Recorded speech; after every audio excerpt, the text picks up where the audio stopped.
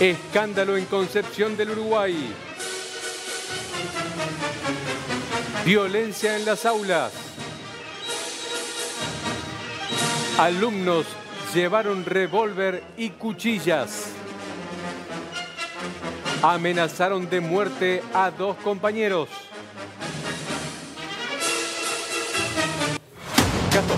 Escuela 15 Pocho Leprati de Concepción del Uruguay. Dos chicos eran víctimas de agresiones, 13 y 14 años, por parte de dos de 15 y 16.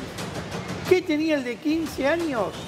Una manopla que ahí la estamos viendo y unos cuchillos. El arma no se le encontró al chico de 16 años, o sea que no tenía nada. Sin embargo, un compañero fue, se le acercó a la policía y dijo, esta me la dio fulanito. O sea, la fulanito porque no puedo dar nombre.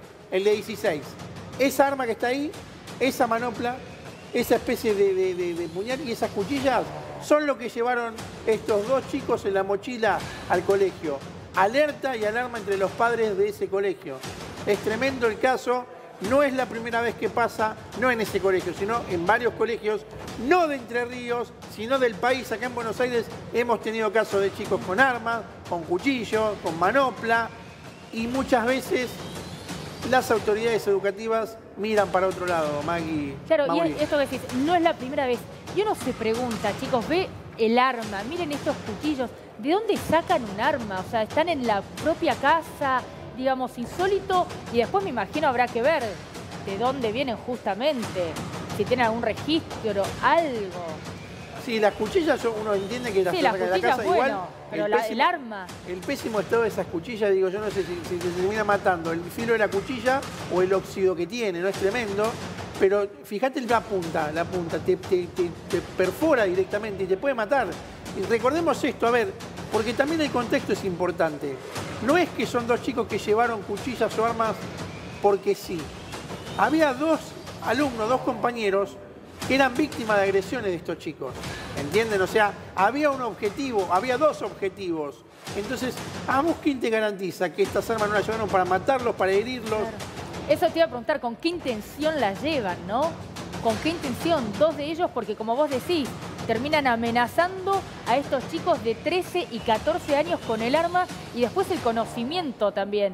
Para quedar limpios, esconden el arma, se la entregan a otro compañero que por suerte fue quien después eh, la brindó a las autoridades. Pero, a ver, acá se hicieron presentes los padres. ¿Alguien se pudo dar alguna explicación? Porque no puede ser, es insólito que en un colegio donde los chicos tienen que ir a estudiar vayan armados y amenazar a otros compañeros. Y no sabemos en qué pudo haber terminado esto. Porque pudieron haber utilizado estos cuchillos, pudieron haber utilizado el arma. Y digamos, nadie se da cuenta, nadie se alerta de esta situación, que hay chicos armados y amenazando en un colegio. Para, para completar la información, fueron llevados a la comisaría y de ahí fueron retirados por sus padres. Vos decís, no hay, no hay, no hay comunicación. Muchas veces se tiende a minimizar todo esto.